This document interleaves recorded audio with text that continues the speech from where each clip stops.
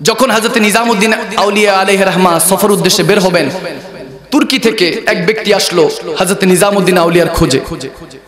সে যখন আসলো, সে যখন হাজরত নিজামুদ্দিন আউলিয়ার কাছে আসলো নিজামুদ্দিন আউলিয়া বলতেছে, আপনাকে দেখে কেন জানি ফিলিং গুড ফিল হচ্ছে না, ভালো ফিল হচ্ছে না, কেমন জানি খারাপ লাগছে, আপনাকে দেখে শান্তি লাগছে না। এখন নিজামুদ্দিন আউলিয়া যখন সে ব্যক্তিকে বলল, আপনাকে দেখে শান্তি পাচ্ছি না, প্রেম প্রেম অর্থাৎ ভালোবাসার অনুভূতি কাজ করছে না। আপনি কোন ধর্মের অনুসারী? তখন সেই তুর্কির ব্যক্তিটা বলছে যে, আমি আমি হলাম ইহুদি ধর্মের অনুসারী। আমি একজন ইহুদি ধর্মযাজক, আমি ইহুদি ধর্মের অনুসারী। তবে আপনার কথা আপনার কথা আমি তুর্কিতেও শুনেছি। সুভান আপনার কথা অনেক শুনেছি। এজন্য আপনার সৌবত এখতিয়ার করার জন্য, আপনার সাথে কিছু সময় থাকার জন্য, আপনার থেকে জ্ঞান অর্জন করার জন্য, আপনার থেকে কিছু কিছু হাসিল করার উদ্দেশ্যে আমি এসেছি, কিছু পাওয়ার উদ্দেশ্যে এসেছি। যখন এই ব্যক্তি, ওই ব্যক্তিটা, ইহুদি ব্যক্তি যখন এই কথা বলল দেখেন হজরত খাজা নিজামুদ্দিন আউলিয়া আলহ রহমা বলছে, আমার সাথে সোবত এখতিয়ার করার জন্য এসেছেন, কিছু পাওয়ার জন্য, কিন্তু আমি তো একটা সফর বের হয়ে যাচ্ছি। তখন সেই তুর্কির সেই ব্যক্তিটা, ইহুদি ব্যক্তিটা বলল নো প্রবলেম কোনো প্রবলেম নেই, আপনার সাথে আমিও যাব, কোনো সমস্যা নেই, আমিও যাব, সফরে যাব। রাজাতে খাজা নিজামুদ্দিন আউলিয়া বলছেন, আমার সাথে যাবেন তো ভালো কথা, কিন্তু আমি তো না খেয়েও থাকতে পারি, আপনি ক্ষুধা বরদাস্ত করতে পারবেন? আমি না খেয়ে থাকতে পারি, আমি তৃষ্ণার্ত হতে পারি, ক্ষুধার্ত হতে পারি, আমি অনেকদিন না খেয়েও থাকতে পারি, আবার অনেকদিন না পান করেও থাকতে পারি। এই সফরে এরকম অবস্থা আমার চলতে পারে। মালিক কখনো খাওয়াবে কখনো খাওয়াবে না। আমার সাথে কীভাবে চলতে পারবেন? তখন সেই তুর্কির যে ব্যক্তিটা এসেছে, ইহুদি, সে বলতেছে, বেদিন ব্যক্তিটা বলছে, সমস্যা নাই নো প্রবলেম আমি আপনার সাথে এভাবে চলতে রাজি আছি। যখন সেই কথা বললেও, ঠিক আছে, তাহলে চলুন। কোনো শর্ত ছাড়াই যখন সে চলা শুরু করল, চলা শুরু করল হাজরতে নিজামুদ্দিন আউলিয়া, একটা পর্যায়ে ওই ব্যক্তিকে নিয়ে সফর করতে করতে সপ্তাহখানিক পার হলো। সফর যখন এক সপ্তাহ পার হলো খুব ক্ষুধা লেগেছে, কোনো খাবার খায়নি এক সপ্তাহ, কোনো পান করে নাই, পানাহার থেকে দূরে ছিল, সে কোনো পান করে নাই, এখন পিপাসাও লেগেছে, তৃষ্ণাও লেগেছে, ক্ষুধাও লেগেছে, এখন এমন অবস্থা যে খাদ্যর ভুকের কারণে, ক্ষুধার কারণে সে বলতে বাধ্য হলো, ইয়া শেখ নিজামুদ্দিন আউলিয়া, আপনি একটু দাঁড়ান, সফরটা একটু থামান, অনেক ক্ষুধা লেগেছে, আর ধৈর্য ধরে থাকতে পারছি না, আর সহ্য করতে পারছি না, কিছু একটা আপনি ব্যবস্থা করেন, আপনার মালিক যদি হক হয়, আপনার খালিক, আল্লাহ তাবারক তাআলা যদি সত্যি থেকে থাকেন, তেনার কাছে দোয়া আছে, তেনার কাছে দোয়া আছে, আমাদের খাবারের কিছু ব্যবস্থা করে। সুবহান এখন যখন হাজরত নিজামুদ্দিন আউলিয়ার কাছে এই দোয়া, এই আরজিটা ওই ব্যক্তি করল, এখন সে চিন্তা করল, এতক্ষণ আমার সাথে ছিল, কোনো প্রবলেম ছিল না, কিন্তু এখন আমার মালিকের ইজ্জতের উপর হাত এসেছে। আমার মওলার ইজ্জতের সওয়াল, আমার মওলার ইজ্জতের ব্যাপার। তিনি হাজরতে খাজা নিজামুদ্দিন আউলিয়ার সাথে সাথে সেজদায় পড়ে গেলেন। সেজদায় পড়ে মালিকের দরবারে চাচ্ছে, মালিক, আমার কথা থাকতো, কোনো সমস্যা ছিল না, আমি বলতাম, আমি কোথা থেকে আনব কোথার থেকে দিব, আমি এত কিছু জানি না, আমি কিছু একটা বলে তাকে ইনকার করে দিতাম, বারণ করে দিতাম, কিন্তু এখন সে বলছে, আপনার খালিক যদি সত্য হয়, আমি তো জানি আমার মালিক সত্য। বলুন। ঠিক কিনা ঠিক কিনা বলুন? এখন নিজামুদ্দিন আউলিয়া সেজদার মধ্যে বলছে, আল্লাহ, আমি তো জানি, তুমি সত্য, ইজ্জতের প্রশ্ন তোমার ইজ্জতের উপর আঙ্গুল উঠে গেছে। মালিক, কিছু একটা ব্যবস্থা করো। আসমান থেকে তখন সাদা আসলো, আওয়াজ আসলো, নিজামুদ্দিন, এ নিজামুদ্দিন ঘাবরাও মত, মে দেখুঙ্গা। সুহান মে দেখতা হুঁ। এই কথা যখন বলা হলো, তখন আসমান থেকে দুই পেয়ালা শরবত এবং দুইটা রুটি নাজিল হলো। আল্লাহ আকবার বলেন। এই ব্যবস্থাটা করেছেন কে? চিল্লে বলেন কে? দেনেওয়ালা কে? খিলানেওয়ালা কে? সবকিছুর মালিক মৌলা তো যখন নিজামুদ্দিন আউলিয়া, গভীর খেয়াল করুন, যখন নিজামুদ্দিন আউলিয়ার সামনে দুই পেয়ালা শরবত, দুইটা রুটি নাজিল হলো, তখন হাজরত নিজামুদ্দিন আউলিয়া বলতেছে, তোমার পিপাসা মিটাও, তোমার ক্ষুদাও মিটাও, নাও। সুবহান আল্লাহ বলুন। তখন সেই বেদিন ব্যক্তিটা, ইহুদি ব্যক্তিটা, ইহুদি যাজক, সে তখন খাবার গ্রহণ করল। এরপর বলল যে, আর তুমি খাওয়া নিয়ে চাওয়াচাই করতে পারবে না। ঠিক আছে? তখন বলে যে, ঠিক আছে শেখ কোনো সমস্যা নাই, আমি আর চাওয়াচি করব না। তখন আবার রওনা দিল। রওনা দেওয়ার পর আবার নেক্সট উইক আবার এক সপ্তাহ কেটে গেল, আবার ক্ষুধা লাগল। ক্ষুধা লাগার পর, ক্ষুধা যখন লেগেছে, এখন সে হাজরত নিজামুদ্দিন আউলিয়ার কাছে বলতেছে, ইয়া শেখ ইয়া শেখ নিজামুদ্দিন আউলি আপনি একটু দাঁড়ান আবার খুব ক্ষুধা লেগেছে বরদাস্তের বাইরে আমি বরদাস্ত করতে পারছি না সহ্য করতে পারছি না ধৈর্য ধরে থাকতে পারছি না ক্ষুধা আমাকে মনে হয় মেরেই ফেলবে তৃষ্ণা আমাকে মেরেই ফেলবে তখন নিজামুদ্দিন আউলিয়া বলতেছে अभी तेरा इम्तिहान का वक्त है अभी तेरा इम्तिहान का वक्त है इम्तिहान का वक्त है होता है क्या आगे आगे देख होता है क्या तू इश्क में इश्क की इम्तिहान में रोता है क्या আগে আগে দেখ হোতা হে ক্যা? সুবহানাল্লাহ বলুন। তুমি ইশকের পরীক্ষার মধ্যে কান্না করছ? কোনো সমস্যা নাই, আগে দেখো সামনে কি আর তোমার জন্য অপেক্ষা করছে। ঠিক কি না সামনে আরও কি অপেক্ষা করছে? এখন যখন নিজামুদ্দিন আউলিয়া বললেন, ঠিক আছে, এর আগের সপ্তাহে তো আমি আমার মালিক খালিকের থেকে ব্যবস্থা করেছি। তুমি তো ইহুদি ধর্মের যাজক। তোমার খালিক, তোমার মালিক তুমি যার আরও ধনা করো, তোমার প্রার্থনা যার মাধ্যমে চাও, যার ইবাদত করো, তার কাছে চায়া দেখো। আমি তো আমারটা প্রমাণ করেছি, তোমারটা সত্য কিনা প্রমাণ দেখাও। সুবহানাল্লাহ। ইমতিহানের ওয়াক্ত। এখন হলো ইমতিহানের সময়। ইমতিহান, এখন আমার ইমতিহানে আমি পাশ করেছি, তোমার ইমতিহান দাও। তখন সেই ইহুদি ব্যক্তি সেজদায় পড়ে গেল। কবির খেয়াল করুন, সেজদায় পড়ে গেল। এখন নিজামুদ্দিন আউলিয়া তো জানে, খালেক মালিক, আমার মালিক ছাড়া তো কেউ দেনেওয়ালা নাই, ঠিক কি না সে যতই সেজদার মধ্যে রোনা জারি করুক কানাকাটি করুক, লাভ নাই। এখন যখন এই অবস্থা হলো, নিজামুদ্দিন আউলে মুচকি মুচকি হাসতেছে যে, গত সপ্তাহে তো আমার মালিক যে সত্য এটা প্রমাণ দিছি, এই সপ্তাহে তুমি ধরা খাবা। এখন এই কথা বলতে দেরি নেই, দেখে আসমান থেকে চার পেয়ালা সর্বতা চারটা রুটি নাজিল হয়েছে আল্লাহ বলেন, যখন এটা নাজিল হলো নিজামুদ্দিন আউলিয়া তো অবাক। কি ব্যাপার? উনি তো খুব অবাক হয়ে বলতেছে, আমি তো জানি এই হুদির দোয়া আল্লাহ কবুল করবে কেন? কারণ এই শরবত এবং রুটির ব্যবস্থা আল্লাহ ছাড়া কেউ করতে পারে না। করতে পারবে না। এখন বুঝলাম না, একই সৌবতে সলি তো সলি কুনত হয়ে গেল কিনা?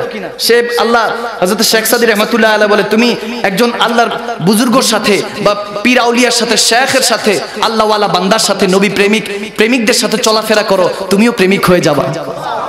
সৌবাতে সলি তু সলি কুনা তুমি সৌবাত এখতিয়ার করো, আল্লাহওয়ালা বান্দার সাথে চলো, তুমি আল্লাহওয়ালা বান্দা হয়ে যাবা। সুবহানাল্লাহ। হাজরত শেখ সাদি রহমাতুল্লাহ আলাই এই কথা বলেছেন। এখন হাজরত নিজামুদ্দিন আউলে চিন্তা করল, কি ব্যাপার আমার সাথে থাকতে থাকতে কি তার জুবানের তাসির হয়ে গেল কিনা? ঠিক কিনা? যখন এরকম চিন্তা করল, কি ব্যাপার? আমার কথায় আল্লাহ দুই পেয়ালা শরবত, দুইটা রুটি নাজিল করল। সে শেষদায় গেল, ডাবল নাজিল হলো, ব্যাপার কি? এখন তো চুপ করে আছে নিজামুদ্দিন আউলিয়া। এখন ওই ব্যক্তি বলতেছে হজরত ইয়া নেন খাবারটা খান। আমরা দুইজন মিলে খাই। আজকে তো ডাবল ব্যবস্থা। সুবহানাল্লাহ বলুন। আজকে তো ডাবল ব্যবস্থা। আসুন খাই। এখন হজরতে নিজামুদ্দিন আউলিয়া বলতেছে, না আমি মুসলমানেরটা খাইতে পারি। তুমি কালমা পড়ো নাই, মুসলমান না। আমি তোমারটা কেন গ্রহণ করব? বলে, তোমারটা আমি গ্রহণ করতে পারব না।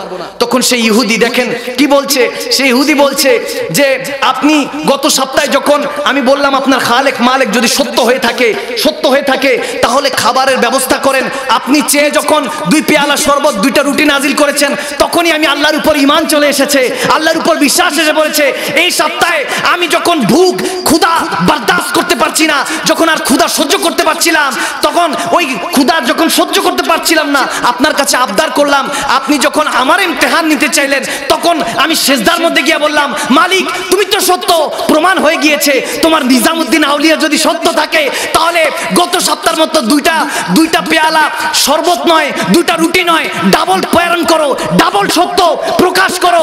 এ নিজামুদ্দিন আউলিয়া, এই এই যে আপনি যে সত্য, আপনি যে আল্লাহর বলি, আল্লাহর কুরবাতে নিকটতম আপনি হাসিল করেছেন নৈকট্যতম আপনি হাসিল করেছেন এই সুবিধার্থে আল্লাহ তাবারক তাআলা এটা প্রমাণ দিয়েছে এই খাবার আপনার উসিলাই নাজিল হয়েছে। আল্লাহু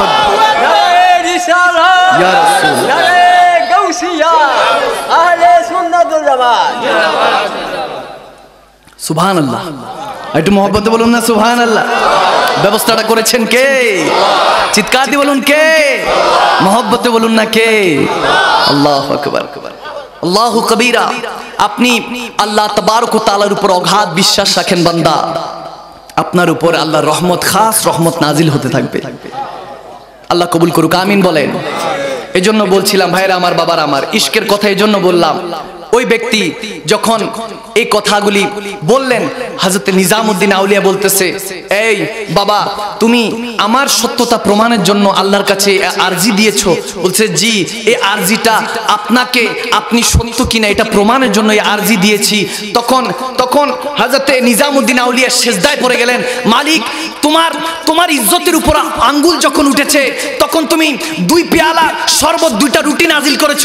আমি গুনাগার নিজামুদ্দিন আউলিয়া তোমার নালায়ক বান্দার উপরে যখন আঙ্গুল উঠল, তুমি চার পেয়ালা শরবত, চার পেয়ালা চারটা রুটি নাজিল করলাম আল্লাহ, তুমি আমাকে এতটা সম্মান দিয়েছ, যদি আমাকে এতটাই ভালো থাকো, তার সিনার মধ্যে ইমানে নূর দিয়ে দাও। তেরি দুয়া না জুবাসে, তেরি দুয়া জুবাসে না নিকলি, আসার হুই। তেরি দুয়া না মালুল হুই, ইহা জুবাসে নিকলি ওহা কবুল হুই। আমি প্রায় সময় বলে থাকি, আল্লাহর বলি নিজামুদ্দিন আউলিয়ার জুবান থেকে দোয়া বের হতে দেরি হলো না। সেই দোয়া আল্লাহ আল্লাহর দরবারে কবুল হতে দেরি হলো না। ওই ব্যক্তি ওই ব্যক্তি সেজদা থেকে নিজামুদ্দিন আউলিয়া উঠার আগে ওই ব্যক্তি চোখের পানি ছেড়ে কালমা পড়ে মুসলমান হয়ে গেল। আল্লাহ আকবর। হেদায়তের মালিক কে? বলুন না চিল্লা, হেদায়তের মালিক কে বান্দা? আল্লাহ তাবারক ওয়া তাআলা আল্লাহু আকবার। কারামাতে আউলিয়া হাক্কুন, আল্লাহর ওয়ালিদের কারামত সত্য, কারণ আল্লাহর ওয়ালিরা কারামত দেখান আল্লাহর ক্ষমতায়, ঠিক কি না সমস্ত সৃষ্টি, মাখলুকাত, সমস্ত কিছু চলে আমার মালিকের ক্ষমতায়, ঠিক কি না আল্লাহর ওয়ালিরা যখন আল্লাহর তাওয়াজ্জু হাসিল করেন, আল্লাহর, আল্লাহকে রাজি করতে পারেন, কারণ আল্লাহ বলেছেন, লাকাদ রাদিয়াল্লাহু আনিল মুমিনিনা ইজ ইউবাইনাকা তাহতা শাজার কোরআনে এসেছে, আমাদের বানানো কথা নয়, আমি মাকদুম শাহ মুজাদ্দিদি বলি নাই, এটা কোরআনে এসেছে।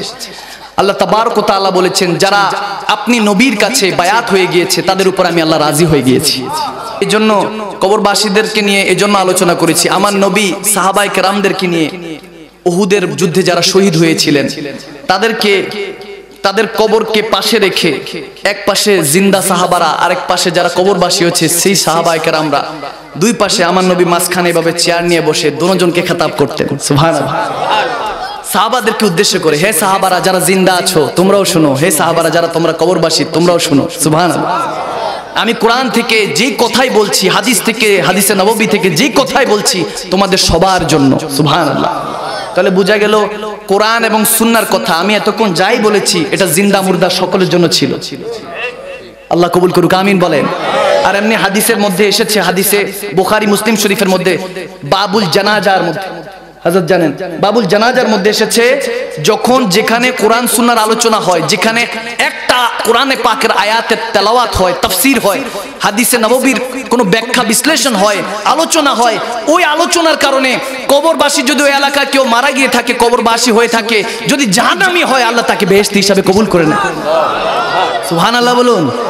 তো কোরআন শোনার তো অনেকক্ষণ অনেকটাই আলোচনা হয়েছে, ঠিক কিনা? আজকে তাফসিরও হয়েছে, কারণ এখানে আমার দেখেছি ইসলামী সুন্নি মহাসম্মেলন। সম্মেলনের মধ্যে তাফসিরই বেশি চলে, ঠিক কিনা? তো এই জন্য তাফসির করেছি, কি কষ্ট হয়েছে? কষ্ট হয়েছে?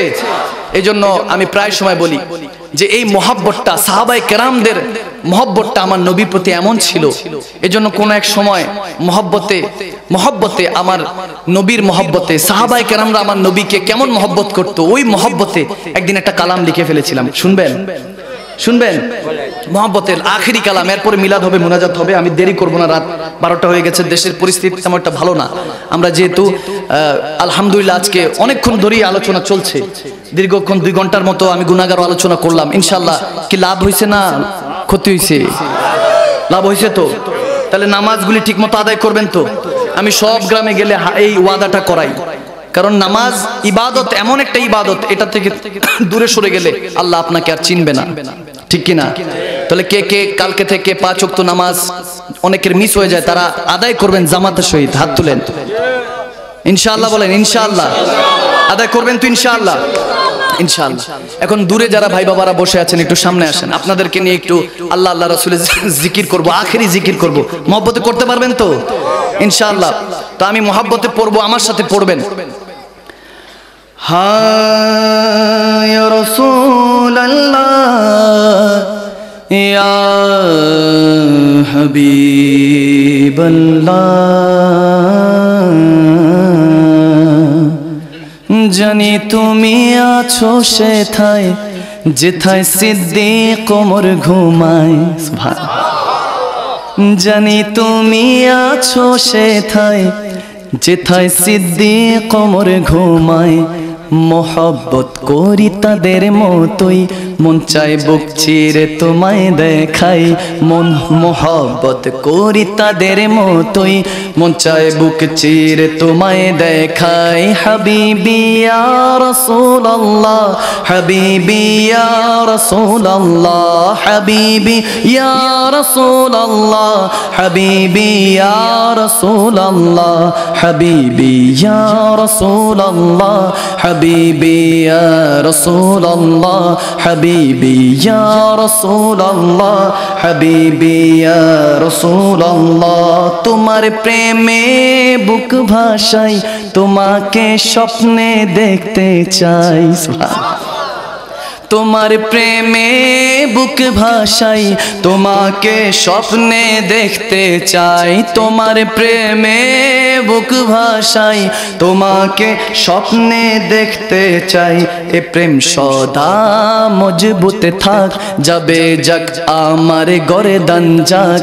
এ প্রেম সদা মজবুত থাক, যাবে যাক আমার গরে দান যাক। হাবিবি ইয়া রাসূলুল্লাহ حبيبي يا رسول الله حبيبي يا رسول الله حبيبي يا رسول الله حبيبي يا رسول الله حبيبي يا رسول الله حبيبي يا رسول الله حبيبي يا رسول الله কবরের অন্ধকারে জানি না থাকব যে কি করে। কবরের অন্ধকারে জানি না থাকব যে কি করে। কবরের অন্ধকারে জানি না থাকব যে কি করে। রাখবে কি তোমার কদমে? হাবিবি ইয়া রাসূলুল্লাহ,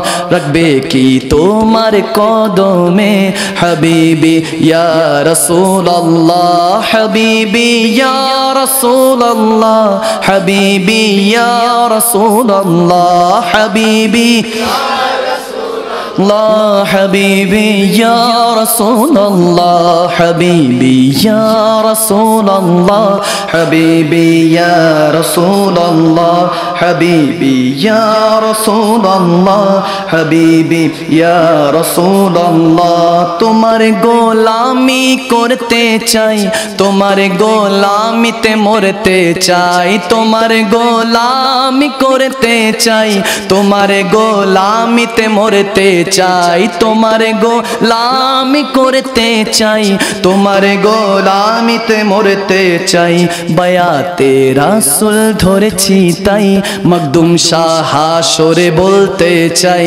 বায়াতে রাসুল ধরেছি তাই। আশেকেরা হাসরে বলতে চাই, হাবিবি ইয়া রাসূলুল্লাহ, হাবিবি ইয়া রাসূলুল্লাহ, হাবিবি ইয়া রাসূলুল্লাহ, হাবিবি ইয়া রাসূলুল্লাহ, হাবিবি ইয়া রাসূলুল্লাহ, হাবিবি ইয়া রাসূলুল্লাহ। হাবিবি ইয়া রাসূলুল্লাহ, হাবিবি ইয়া রাসূলুল্লাহ, জানি তুমি আছো সেথায়, যেথায় সিদ্দিক কোমর ঘুমায়, জানি তুমি আছো সেথায়, যেথায় সিদ্দিক কোমর ঘুমায়, মোহব্বত করি তাদের মতোই, মন চায় বুক চিরে তোমায় দেখাই, মোহব্বত করি তাদের মতোই। মন চায় বুক চিরে তোমায় দেখাই, হাবিবি, ইয়া রাসূলুল্লাহ, হাবিবি, ইয়া রাসূলুল্লাহ, হাবিবি, ইয়া রাসূলুল্লাহ, হাবিবি, ইয়া রাসূলুল্লাহ, হাবিবি, ইয়া রাসূলুল্লাহ, হাবিবি, ইয়া রাসূলুল্লাহ, হাবিবি, ইয়া রাসূলুল্লাহ। ইয়া রাসূলুল্লাহ সাল্লাল্লাহু তাআলা আলাইহি ওয়াসাল্লাম। সুবহানাল্লাহ বলুন। বলুন ইয়া রাসূলুল্লাহ। আর একটু চিৎকার দিয়ে বলুন ইয়া আল্লাহর বান্দা হওয়ার চেষ্টা করেন। এ বান্দারা, আল্লাহর খাস হওয়ার চেষ্টা করেন। আমার নবীর প্রেমিক হওয়ার, আদর্শবান বান্দা হওয়ার, উম্মত হওয়ার চেষ্টা করেন। নবী আপনার জন্য কবরের সুব্যবস্থা রাখবেন। হাসরে আমার আল্লাহ আপনার জন্য বেহেস্তটা রেখে দিবেন। আমার নবীর আদর্শটা সম্পূর্ণভাবে ফলো করার চেষ্টা করেন। আপনাদের কাছে রিকোয়েস্ট করি। এরকম হয়েন না, নাফরমান বান্দা হয়েন না, ইবাদতটাকে ছেড়ে দিয়েন না বান্দা। আমার নবীর দুরুদকে ছেড়ে দিয়েন না। আমার নবী আমার নবী যখন একদিন নামাজ, নামাজের শেষদায় কান্না করছেন কান্না করছেন বেলাল বেলাল হাবশি হজরত বেলাল হাবশি রাদিয়াল্লাহু তিনি এসে বলতেছেন, ইজাজত নিতে এসেছেন, ইয়া রাসূলুল্লাহ, একটু পরে ফজরের আজান দিব। আপনি বললে আজানটা দিব। আমার নবী তখন কাঁদছিলেন। আল্লাহ শুক্রিয়া জ্ঞাপন করছেন। হজরত বেলাল রাদিয়াল্লাহ তাআলা বলতেছেন, ইয়া রাসূলুল্লাহ, আপনি যদি এত কান্না করেন, তাহলে তাহলে আমরা কোথায় যাব? আপনি কেন কান্না করছেন? আপনি তো নিঃসন্দেহে আল্লাহর শেষ নবী, আখিরুজ্জামান নবী আপনি কেন কান্না করছেন? আমার নবী আবার চোখের পানি ছেড়ে বলতেছে বেলাল আল্লাহ বান্দা হিসাবে পেগাম্বার হিসাবে বানিয়েছে পাঠিয়েছে চালাচ্ছে। এই শুক্রিয়াটা কোনো কি আদায় করব না আমি মোহাম্মদ রসুল্লাহ আমি আমি আল্লাহর এই শুক্রিয়াটা কি আদায় করব না? আল্লাহ যে আমাকে এই দুনিয়াতে পাঠিয়েছেন, আল্লাহর বান্দা হওয়ার সুযোগ করে দিয়েছেন, এই শুক্রিয়াটা কি আদায় করব না? তো দেখুন, আমার নবী কত শুক্রিয়া জ্ঞাপন করতেন, আল্লাহর শুক্রিয়াগুলি কীভাবে আদায় করতেন? আর বান্দা, আমরা তো শুক্রিয়া আদায় করতে রাজি নাই। আমরা নিজেদের হিংসা বিবৎসনা থেকে আমরা দূরে থাকতে পারি না। একজন ভাই আরেকজন ভাইকে মারা মারার সময় একটু চিন্তা করি না। এ আমার আদম সন্তান ভাই। একজন ভাই আরেকজন ভাইকে উপকার করার মধ্যে আমরা রাজি নাই। আমরা যত পারি ক্ষতি করি। কিন্তু আমার নবী বলেন যদি তুমি আমার নবীর আদর্শ গ্রহণ করো সাহাবায় রসুলদের আদর্শ গ্রহণ করো সুভান হাজরতে ফারুকে আজম। প্রত্যেক দিন ওমর ইবনুল খাত্তাব রাদিয়াল্লাহু তাআলা একটা বুড়ি মার কাছে যাইতেন। ওই বুড়ির মার আঙ্গিনাটা, উঠানটা পরিষ্কার করে দিতেন, খাবার রেখে চলে আসতেন চুপটি করে। চুপটি করে চলে আসতেন। কিছুদিন এভাবে যাওয়ার পর, এরপর দেখলেন একদিন একদিন হাজরত ওমর ইবনুল খাত্তাব ওই বুড়ি মার আঙ্গিনাটা পরিষ্কার করছেন, হাদিসে মুবারাকার মধ্যে এসেছে। আঙ্গিনা পরিষ্কার করার জন্য যখন গিয়েছেন, দেখে আগে থেকেই পরিষ্কার। সুবহানাল্লাহ। আগে থেকে ওখানে কে জানি খাবার দিয়ে গিয়েছে। হাজরত ওমর ইবনুল খাত্তাব চিন্তা করলেন, কি ব্যাপার? আমার আগেও কেউ একজন এসে আল্লাহর বান্দা বান্দির খেদমত করে গিয়েছে? আমার আগে এসে? তিনি আবার পরের দিন আসলেন, একই অবস্থা। তেনার আগে কেউ একজন উঠানটা পরিষ্কার করে দিয়ে গেল। ওই বৃদ্ধ যে বৃদ্ধা ছিল, মহিলা, ওই বুড়ির খেদমত যে করছে, সে একজন ইহুদি। এক ইহুদির কথা বলছি, ভাইয়ের আমার। তখন ওমর ইবনুল খাত্তাব চিন্তা করলেন, এটা কে করছে? তিনি একদিন পরে যখন দ্বিতীয় দিনে একই অবস্থা দেখে তৃতীয় দিন তিনি আগে থেকে এসে বসে আছেন। তখন খেয়াল করলেন যে তিনি যে সময়টা আসতেন তার কিছুক্ষণ আগে একজন ব্যক্তি তার শিফ আনলেন। ওই ব্যক্তিটা ওই উঠানটা ঝাড়ু দিলেন। খাবার রেখে যখন যাচ্ছে, মুখটা ঢাকা, হাজরত ওমর ইবনুল খাত্তাব তেনার সামনে গিয়ে বলেন কে ভাই আপনি যে আমার আগে এসে আপনি এই বুড়িমার খেদমত করছেন? কারণ তিনি লাচার, ইহুদি হোক, কিন্তু সে লাচার, খাবার যদি না পায় বা এই উঠানটা পরিষ্কার না থাকে, সে চলতে পারবে না, খেতে পারবে না। কে আপনি? যে আমার আগে এসে খেদমত করে যাচ্ছেন, তখন ওই ব্যক্তি যখন মুখের থেকে রুমালটা সারানো সরালো, তখন ওমর ইবনুল খাত্তাব দেখতেছি ইনি সিদ্দিকে আকবর। আল্লাহু বলেন। আবু বকর সিদ্দিক রাদিয়াল্লাহু তালা ওমর ইবনুল খাত্তাবের আগে এসে খেদমত করে যেত। সুবহানাল্লাহ। আবু সিদ্দিক বলতেছে, ভাই আমার, আপনাকে দেখতাম প্রতিদিন বের হতেন এরপরে দেখতেছি আপনি এসে অনেক সময় কার্য, আপনি তো অনেক কাজের মধ্যে ব্যস্ত থাকেন। আমি চিন্তা করলাম, আপনার আগে আমি এসে করে দেই, যাতে আপনার ব্যাঘাত না ঘটে। সুবহানাল্লাহ। কি প্রেম একজন আরেকজনের প্রতি। তাও কি কোন মুসলমানদেরকে খেদমত করার জন্য না এক ইহুদি না সারার খেদমতের জন্য? সুবহানাল্লাহ। এই এই এই সিস্টেমটা আমার নবী শিখিয়ে দিয়েছেন। ক্ষমা করতে শিখুন, মাফ করতে শিখুন। আপনি দুনিয়াতে ক্ষমা করে দিবেন। আপনি যখন কোনো বান্দা আপনাকে কষ্ট দিল, ক্ষমা করে দিলেন। আপনাকে আপনাকে খুব আঘাত দিল, ক্ষমা করে দিলেন। আপনার বিরুদ্ধে মিথ্যাচার করল, ক্ষমা করে দিলেন। একটা সময় আপনি যখন এমন অবস্থা হবে যে আপনার উপর যত দুশ্মনী করুক, আপনি ক্ষমা করতে শিখে গেলে হাসরের ময়দানে আপনার অল্প আমল দেখে আল্লাহ ক্ষমা করে দিবে। সুবহানাল্লাহ বলুন। আল্লাহু আকবার ইন্নাদ দীনা ইনদাল্লাহিল ইসলাম Islam is the complete code of life ইসলামটা হলো সম্পূর্ণ জীবন বিধান। এই বিধানটা পড়ুন। আল্লাহ আমাদেরকে কোরআন বুঝে কোরআনের মতে, পথ- মতে মতে এবং হাদিসে মুবারকের পথে মতে, আমার নবীর পথে মতে, আমার মালিক ও খালিকের পথে মতে আউলিয়া কামিলিনদের পথে মতে চলার তৌফিক দান করুক। আমিন বলেন। আমি আর দীর্ঘায়িত করব না। না বাবা, আজকে না। আজকে আর না। এমনি পরিস্থিতি কালকে, আগামীকাল সবে বরাত। ও সবে বরাতের ব্যাপারে একটু না বললেই নয়। সবে বরাতটা, এটা খুব মহিমান্বিত একটা রাত। অনেকে এটা মানতে চান না। মানার না মানার কিছু নাই। এটা না মানার কিছু নাই হাদিসের মধ্যে এসেছে। হাজরত শের খোদা মৌলা আলী কারামাল্লাহুল ওয়াজিল করিম, তিনি বর্ণনা নিজে করেছেন এক রাত্রিতে। আমি অনেক বড় হাদিস, আমি শুধু সংক্ষেপে বলে যাব। বোখারি শরীফের আপনি যদি বাবু সালাদটা খুলে দেখেন, ওটার মধ্যে পেয়ে যাবেন। হাদিস নাম্বারটা এই মুহূর্তে মনে নাই, কিন্তু বাবু সালাদটা খুলে পেয়ে যাবেন। ওখানের মধ্যে এসেছে মৌলা আলী মুশকিল কোষা, একদিন আল্লাহ নবীর কাছে গিয়েছেন। যাওয়ার পর দেখতেছেন আমার নবী নামাজ আদায় করছে। সুবহানাল্লাহ। কিছুক্ষণ পর দেখতেছে যে কি ব্যাপার, এটা তো সালাতে এশা না, এশার নামাজ না, এটা কি নামাজ আদায় করছে? আমার নবী নামাজ থেকে ফারেক হওয়ার পর হাজরতে মৌলা আলী মুশকিল কোষা জিজ্ঞেস করলেন, ইয়া রাসূলুল্লাহ, এটা কি আদায় করলেন? তখন আমার নবী বললেন যে, নিসফু শাবান, এই শাবান মাসে একটা মহিমান্বিত একটি রাত আছে, এই রাত্রে লাইলাতুল বারাত বলা হয়, সুবহানাল্লাহ।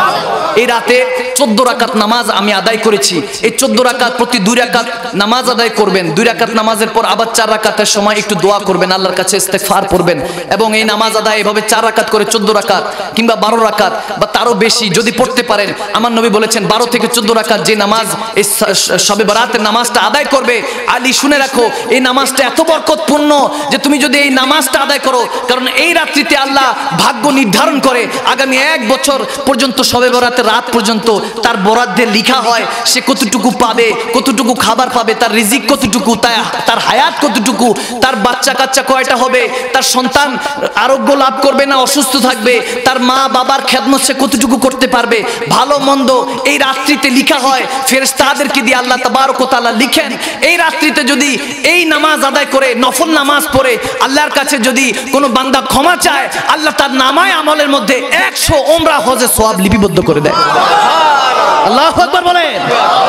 এবং বলেছে, আমার নবী বলতেছেন, এই রাতকে আল্লাহর কাছে রোনা জারি করো, কান্নাকাটি করো, এই রাতটাকে উপলক্ষ করে রোজা রাখো, নামাজ আদায় করো, নফল নামাজ বেশি বেশি পড়ো এবং রোজা রাখো রোজা রাখো আল্লাহর সন্তুষ্টির জন্য, নামাজ পড়ো আল্লাহর সন্তুষ্টির জন্য, আল্লাহ তোমাকে কবুল করে নেবে। আল্লাহ তোমার যদি আর দোয়াও মাকবুলি বাদ দেখেন ভাগ্য পরিবর্তন হয় দোয়ার উসিলাতে। যদি দোয়ার মাধ্যমে যদি ভাগ্য নির্ধারণ, পরিবর্তন হতে পারে, এই পরিবর্তনটা করে দেন কে? চিলে বলুন কে? আল্লাহ তাবারক তাআলা আপনার ভাগ্যটা পরিবর্তন করে দিতে পারেন। এই ক্ষমতা আমার মালিকের, খালিকের আছে কিনা? আছে কিনা বলেন? আছে। যারা ইবাদত থেকে দূরে রাখতে চায়, আমি তাদেরকে বলি, ভাই, আপনারা ইবাদত থেকে দূরে রাখতে চান, এটা কোন ধরনের মাসালা? বান্দা নামাজ পড়বে, রোজা রাখবে, আপনি খোদার ইবাদত থেকে দূরে সরাচ্ছেন। এটা তো ইবলিসের কাজ। কে একজন দুজন করে ঠিক করে বলছেন? ঠিক কিনা বলো? এটা তো ইবলিসের কাজ। ইবাদতে খোদা থেকে সে বিরত রাখে। আপনি নামাজ পড়বেন তসবি তালিল তসবি তালিল পড়বেন, ইস্তেগফার পড়বেন। আপনি আল্লাহর কাছে রোনাদারি করবেন। এই রাতটা ব্যবস্থা করে দিয়েছেন রসুলের মাধ্যমে কে? আল্লাহ ব্যবস্থা করেছেন আল্লাহ করেছেন এই ব্যবস্থা, আর বান্দা আপনি শুক্রিয়া আদায় করছেন না। ব্যবস্থাটা পেয়ে খুশি হচ্ছেন না। আপনার মতো নেমো খারাম বান্দা। আল্লাহ আমাদের কিসমতে না রাখুক, আমিন বলে। আল্লাহ হেদায়ত করুক, আমিন। আমি কোনো ঝগড়ার মধ্যেই নাই বাবা। যদি পছন্দ হয় নিলেন ওই বাদত করলেন, আপনার আমল নামা ভারী হবে, আমার কি? আমার কি? আপনি ইবাদত করলেন না, আপনার আমল নামা ভারী হলো না। আগামী এক বছর আপনার ভালো মন্দর জন্য আপনি মাপ চেলেন না যে, মালিক, আগামী এক বছরে তুমি আমার হায়াত রাখছো না না রাখছো জানি না। তুমি আমার রিজিক কতটুকু রাখছো, না রাখছো জানি না। আমি কি আগামী লাইলাতুল বারাত পাবো কিনা তাও জানি না। ঈদুল ফিতরগুলি পাবো জানি না না ঈদুল আজহা পাবো কিনা জানি না, আমি সবে কদরের রাত্রিটা পাবো কিনা জানি না, আমি রোজাগুলি পাবো কিনা জানি না, একবার কি হজ করার সুযোগ হবে কিনা জানি না জাকাত কাউকে দিতে পারব কিনা জানি না, তোমার এই আগামী সবে বরাত পর্যন্ত নামাজগুলি ঠিকমতো আদায় করতে পারব কিনা জানি না, মালিক জানি না কি রাখেছো এই ভাগ্যে, কিন্তু তুমি তোমার নবীর উসিলায়, আউলিয়া কামিলের উসিলায়, আজকে এই নফল নামাজের উসিলায়, ইস্তেগফারের উসিলায়, দুরুদ শরীফের উসিলায় এবং কি এই যে সবে বরাতে রোজাটা রেখেছি এই রোজা সেহরি ইফতারের উসিলায় তুমি আমার দোয়াটা কবুল করো, আমাকে ইমানের সাথে রাখো, আমল সহকারে আমার আমলটা ভারী রাখো, ইমানটা মজবুত রেখো। এই দোয়াটা যদি করি, আল্লাহ দোয়াটা কবুল করতে পারেন কি পারেন না? চিলা বলেন, বান্দা, পারেন কি পারেন না? তাহলে তোমার কিসমত ভালো। যদি তুমি ইবাদত থেকে দূরে থাকতে চাও তো তোমার কিসমত খারাপ, আমার কিছু করার নাই। আমার দায়িত্ব তোমাকে বুঝানো, আমি বুঝিয়ে গেলাম। বাকিটা বাকিদের ইচ্ছা। কারণ হেদায়তের মালিক আমরা চাইলে কিছুই করতে পারব না। তো ইনশাআল্লাহ, রামাদানের রোজাগুলি রাখবেন, আল্লাহ কবুল করুন